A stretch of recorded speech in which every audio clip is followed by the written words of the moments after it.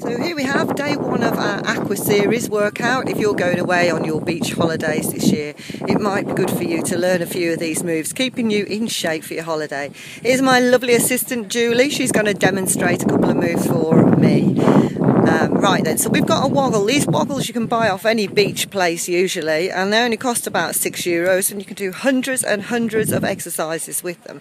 So first of all, Julie, I want you to demonstrate for me a chest press, if you would chest press, just drop your shoulders a little bit and push in and out with that woggle. Okay, so that works the chest. And to add a little bit more exercise into that, we would get you to jog as well. So all these moves you're doing in the water, by the way, Julie's demonstrating on land for you, but you would be doing them on the water. Just turn to the side, Julie, for me so we can see the side action. Super, great.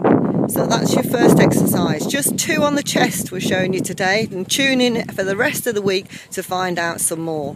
Turn towards me, Julie, cross the aqua tube over, that's good, and now you're going to do a pectoral fly. So you're working again on the chest, you cross it over. Hold it out in front, if you would. That's it, and cross out over in front, not downwards. That's good, that is working your chest in and out. And with this move, you can add the leg action as well. So give me a nice big kick, high kick.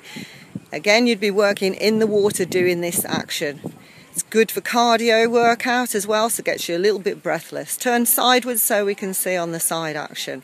Super. Drop your shoulders a little bit. That's it. Keep the tension out of the shoulders. That's fabulous. Thank you and see you again tomorrow.